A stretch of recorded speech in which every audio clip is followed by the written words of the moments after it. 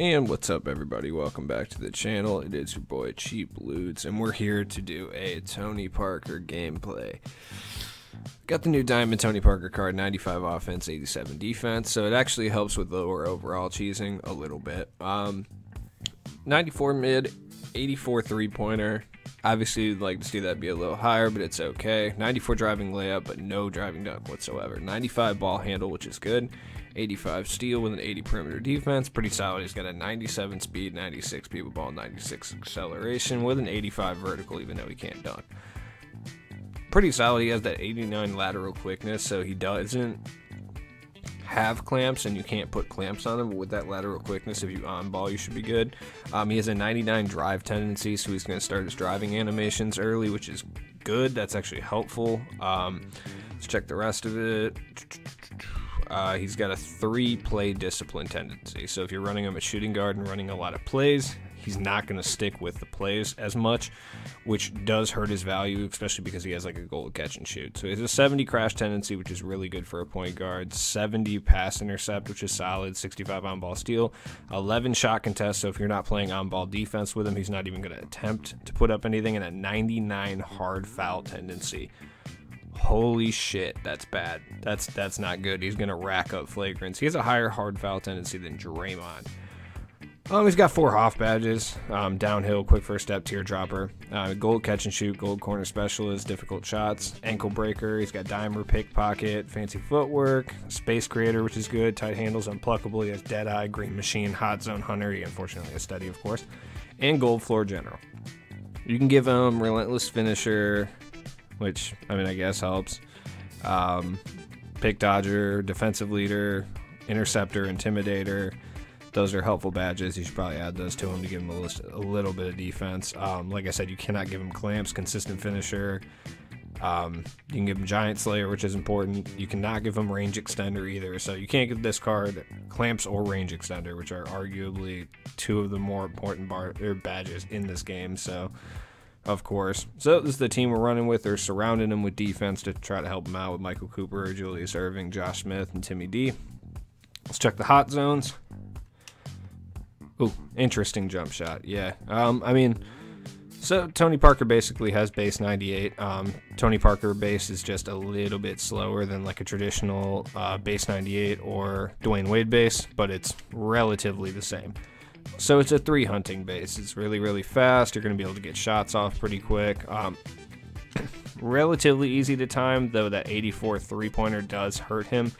But using Mike D'Antoni having a floor general, well, he has gold floor general anyway, but um, using him, some catch and shoots. He does have gold corner specialist too. His shot is hard to time from the corner though, just because the uh, if you're using meter off, it's not. If you're using meter on, that meter gets really small and he has a faster jump shot, so it's a little bit harder to time. So you're going to have to know your release times on that and not rely on the meter as much.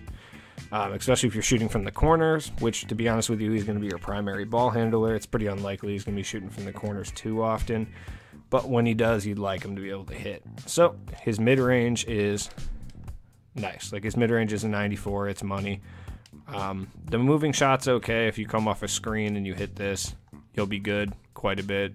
Call for a screen, come over here, hit that moving mid range. He'll hit that at a pretty decent clip. I don't think he misses that too often. That was just bad on my part. I don't know what's up with that. Step back's okay. It's not anything to write home about, but it's all right. uh, yeah, I mean, I'm liking his jump shot a little bit. I feel like I am going to struggle with this card, though, just based on the fact that online it's going to be a harder to time. For me, base 98 and Tony Parker base, Dwyane Wade base. Oh, shit, his dribble moves are nice, though. That behind the back is really lethal. It's not as good as like Isaiah Riders. Isaiah Riders for me is absolutely incredible, but that one's pretty nice. If you can get that time nice enough, he's gonna be able to hit that quite a bit. Um, Okay, I like his uh, running turnaround. So if you get stopped at the rim and you run back and shoot a quick jump shot while you're uncontested, he'll be able to hit that pretty frequently, um, especially if you get that timing down. So just run out, do that. Yeah, it should be pretty good. I haven't timed one right, but all right. Let's shoot a couple more threes. Get the timing down a little bit. Okay, or don't get the timing down a little bit. All right, where are you guys at? I swear, last year we did not have this problem. Like this year, the people who go and get the ball just legitimately like don't try at all. Oh man, yeah, this is gonna be a tough jump shot at the time for me. So let's go play some TTO. Uh, we're down four to three, so it's not looking great already, but we're all right. Hit that, Tony. Good three. He does have, a, like I said, that lightning fast release with those good dribble moves. He'll be able to get off a lot of threes. He's going to be a three hunting point guard. Um, he's not going to be incredibly good on any other aspects. Good defense.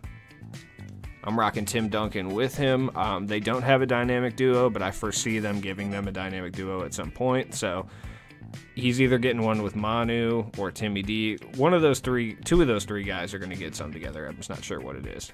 So it's six six. He does have that uh, Hall of Fame quick first step, which is really helpful. Oh, that's too deep for Tim Duncan. I mean, it's not. I just didn't time it very well. But I think it's something that uh, yeah, well, he does have that quick first step. I don't know how helpful it is because he is on the smaller side and he can't really dunk, but rim running works really well this year. Hit that good three. Like I said, if you if they're playing off-ball defense, you should be able to uh, shake them off with a quick dribble move and get that three off pretty quick before the CPU can react and contest it at all. Um, like I said, it's just a matter of hitting the shot, which if you've been watching my videos, especially from like back in 2K20, like you know I'm not a fan of this uh, this base. Um, I wasn't a fan of it last year, especially with quick draw. Yeah, I might as well hit it Michael Cooper end it. Yep. All right, so let's go play some unlimited real quick. So we're up against Chauncey, Brandon Roy, Dominique, Elvin Hayes, and Moses Malone. So he has no spacing, but uh, I don't like Chauncey Billups on Tony Parker just because of the uh, high clamps which if he has upgraded it to Hall of Fame clamps, it's going to be hard to get past him.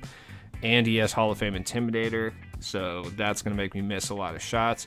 On a release I'm not comfortable with, that's kind of sketch. So I apologize if this is about to be a bad gameplay right off the rip, just because of that. Like, I'm going to struggle against uh,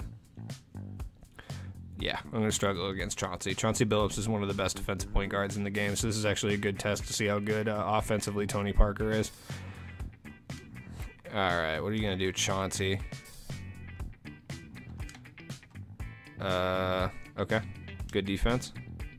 Malone and Elvin Hayes are about to eat me alive in the middle, though. Like, Tim Duncan and Josh Smith are not going to be able to hold it down. Sorry about the cut right there. I just do you really want to see me changing my settings? I don't think you do. So, alright, Tony Parker's pretty. He's fast, but he's a little wily and hard to control. There we go. Good dime. Tim Duncan. That's a connection that's been forming for years. I will say, as a peer distributor, um, Tony Parker is going to be a really good card. Now, granted, you can kind of do it with a lot of different point guards, but as far as with that speed and the fact that he can blow past defenders, um, he's going to be able to get a lot of your guys open just based on that. Oh, he bit on that one. There we go, hit that. He does have that gold difficult shots bad, so he's going to be able to hit little mid ranges off the dribble. I don't trust him doing it with three pointers like I would like Allan Houston at the beginning of the year, but at the same time, oh god, all right, Josh Smith, Jesus Christ, dude. I'm wondering if that 99 hard foul tendency is going to come into play at some point. Um, that's higher than like Dino Radja's last year. And you, if you played with Dino Radja, like Pink Diamond Dino last year, like you know how often he got kicked out of games for no reason. So I'm interested to see if that comes into play at any point. He does have those lightning fast dribble moves, but Chauncey's just there, man. There's nothing I can do about it. There we go. Oh, that was ugly. Oh, get the board, dude. Brandon Roy's so annoying. I hate Brandon Roy. Like, I love him as a card. I hate playing against him. I know he's about to dunk all over me at some point. Yeah, that lack of clamps badge is, is rough, especially when you're running into guys with gold or above quick first step. Oh yeah, pull up dribble moves, hit that three. And he missed the three. 11% coverage, good on my opponent for getting over there and getting that. Ooh, big Dominique dunks. I stand firm on my stance that Isaiah Rider is better than Dominique Wilkins. Like, I, I'm firm on this stance. I know it's not technically true, yeah, that was just bad defense on my part. Good, uh, good off-ball steal by him. There you go, good defense, Julius Erving. I couldn't get the board. Elvin Hayes. There's Brandon Roy again being annoying. Get past Michael Cooper though. Good luck. He's got Hall of Fame clamps. Impressive. Josh Smith just cannot stop fouling people. He doesn't even have that high of a foul tendency, so I don't really know what that's all about, but whatever. It's cool. Quit mean mugging my team, dude. I'm not gonna lie, Josh Smith has been very annoying for me lately. Like, he's uh, I like him as a card. I do regret locking in for him. Um, I'm gonna try to lock in for Detlef Schrempf later on, but we're gonna see. I might not, just because I don't really want Jr. at the end of the year anyway. So it's like, what's the point? We'll see. He looks really good though. I will say that. Tony Parker is kind of struggling against uh, Chauncey. Chauncey Billups is, like I said, one of the best defensive point guards in the game. So, whew, but I'm starting to figure out his jump shot and his dribble moves and stuff like that, and I'm going to find a way to score against Chauncey Billups. I'm not really too worried about it. It's just going to take me a little bit. I love 2K though now. Um, for the gameplay videos, uh, they specifically like to like only when I'm recording. I swear they like to show up. There we go. Hit that. That is something that Tony Parker brings to the table. That's always something he's dangerous with. Um, I actually really liked his diamond card last year. His diamond card was really good, and I used to use it pretty frequently.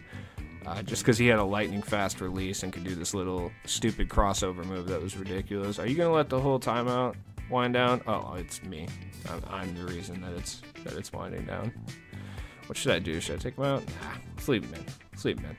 I'm down. I'm down with that. He might get a little sleepy, but it's all good. No big deal. Uh, oh, he has Dikembe and Bob Cousy. Okay, Bob Cousy's in here. Things should uh, get a little easier for me. He has Bob Cousy and Pistol Pete out here now, so I should be able to. Uh, yeah, that's gonna happen. I should be able to score with Tony Parker now. I'm not really too worried about it. Yup, get off me. Hit that. Splash. Yeah, you should probably put Chauncey Billups back in, man, because it's about to get abusive out here in a second. Uh, that steady shooter badge is uh, kind of annoying. First off, they just nice steal. They just had to kill Tony Parker. They couldn't give him range extender. I mean, I get it. In real life, Tony Parker wasn't really like a ooh green light off the catch. Um, he wasn't an incredible three-point shooter, and he's not like pulling up from Curry range. So like, it's kind of realistic that he wouldn't be able to have that. Um, Tony Parker was just kind of an average defender too, so I guess it makes sense he wouldn't have clamps. But this is also a video game; it's of like a really important badge. So like, why would you make it so I can't even add it to Tony Parker? It's kind of annoying. Dude, they do Tony Parker so dirty in 2K every year. I swear. Hit that green light. Oh, uh, you're in trouble now. you're in trouble now. I'm starting to figure out his release. That's about to be bad. Well, until you bring Chauncey Billups back in, and I miss every single white that I, you know, I take because he's got Hall of Fame Intimidator. Should have shot that with Michael Cooper. What am I doing? Uh, hey, uh, I'm pressing X button. What? All right, that's cool. Yeah, all right, 2K, that's that's fine. Yeah, I didn't want to shoot it. I wasn't, you know, repeatedly pressing the button to shoot the ball or anything. No big deal. Um, yeah, okay, cool, whatever. So far, though, I will say I don't know what Tony Parker's price is going to be. Um, if he's down at like the 50, 60k mark, I think he's actually a really good point guard. Though you're gonna have to deal with the fact that he doesn't have any defensive badges. Oh, he just broke me. That was just bad. Oh, I got bailed by 2K right there. Ah, oh, we take over and I miss. Jesus. Um, you will have to deal with the lack of defensive badges. You can give them like Intimidator and Interceptor, which will help out quite a bit, but that lack of clamps is huge. So we're in the second quarter now. Um, our bench unit came in and did some work, so we're sitting pretty good. There you go. Good dime. Good defense by Mutombo. Nothing I could do right there. That was just played really well. Uh, Brandon Roy, I hate you. There we go. Good board by Timmy D. There we go. Tony Parker. Pull up mid range. Yep all day. I see Mutombo down there. I'm not going even remotely near the paint. I'm shooting that mid range every single time. Uh, Mutombo is probably one of the only cards in this game that I trust to actually defend the paint. All right, Josh Smith has three fouls already. He just like can't stop fouling Brandon Roy. I don't know if they have some like personal beef from years past that I'm not aware of that they programmed into the game, but like I've never seen Josh Smith foul like this. I mean, he gets a couple fouls a game, but like fouling one single player three times already. Hit that. Ugh. Bad timing on my part. Um, as you can see, though, you can get that shot off against the CPU very easy. You just have to get used to Tony Parker's timing, which is a little different than the point guards I usually use, so it's a little bit faster. Ooh, what the? All right, fair enough. Fair enough. Oh, you got Elvin Hayes on him. Oh, it's a. Uh, all right, that's fine. Yeah, I mean, I'm playing badly right now, but at the same time, I'm not a fan of Tony Parker right now at all. Um, I just, I just think there's better, better point guard options. Like honestly, like being completely honest, and this is like non-biased when I say this. Yeah, that was just a bad offensive series. I honestly don't think Tony Parker is even better than Richie Guerin. Like I really don't. Like purely especially for the badges that you can add. I just I don't think he is. Like Richie Guerin, I can pull up and hit that pretty much every time. That could just be me being really good with Richie's jump shot as well. But at the same time, I don't think that's the case. We're up 31 to 29, so I mean we have a lead. Drive in. I didn't think I didn't think he was gonna. Yeah, I thought he was gonna collapse for sure. I was wrong. There we go. No, this time I'm taking it in. There we go. Tony Parker can drive the lane pretty decent. He has a couple good finishing badges, and you can add more to him. Um, I recommend probably doing that if you do insist on using Tony Parker, just to give him at least one more element to his game. All right, Josh Smith. Jesus, dude. At least I wasn't against Brandon Roy this time. But yeah, adding some finishing badges like Giant Slayer is probably an important badge to add to Tony Parker just because he's a smaller guy. And if you're driving on bigger dudes like a Kristaps or like any of the guys I'm playing against right now, it's going to help to have that badge so you can get layups over them. That's going to be kind of clutch. Um, I guess I wish you could put more shooting badges on him. Range extender would be so clutch for Tony Parker. If you could put range extender on him, he'd honestly be great. If they just let me put range, I wouldn't even mind that I couldn't put. Uh, oh, that's just bad timing. I wouldn't even mind the lack of clamps. Like the lack clamps isn't as important this year as it was last year. Like it's still an important badge, but if a card has high lateral quickness and you're playing on-ball defense, like clamps isn't a death bringer yet. Um, the animation for quick first step isn't as OP as it was last year. So that being said, having a card without clamps still sucks. Like don't hear that and get it twisted like you don't need clamps. Like no, it helps like a lot. Um, that clamps animation on a quick first step guy is huge. I mean, if you're playing someone like Derrick Rose, you're gonna get eaten alive with Tony Parker. There we go, good move. I got 20 points with him. so we got three minutes left in the fourth. We're up 55 to 48. We're uh, holding it down. I mean, I got 24 points with Tony Parker, which is kind of low for my gameplays, but um, to be completely honest, I'm just not very good with Tony Parker. And uh, yeah, just the range extender, lack of range extender, having Chauncey Billups on him, it's not been great for gameplay. Oh, yeah, you got broke. Green light, let's go. 27 points for. Oh, of course you're going to quit. Of course you're going to quit. Alright, anyways. That's been the gameplay video for Tony Parker. Um, I would say if you can get him down for like 20 or 30k, which is highly unlikely for a diamond at this stage in the game, he's worth it. But other than that, I really just don't think he is. I think Richie Guerin's a better option for a lot less MT. So anyways, thanks for watching the video. Please like, comment, subscribe. Go check out the Patreon, especially subscribe. I appreciate all of you.